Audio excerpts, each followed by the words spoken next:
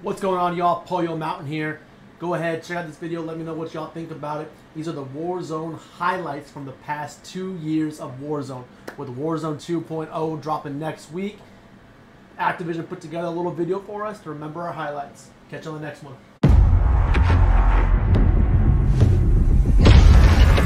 Let's do this.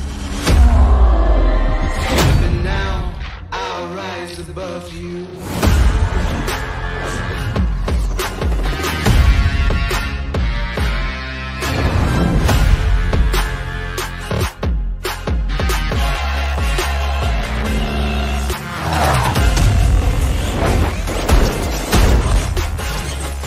You ready for a gunfight?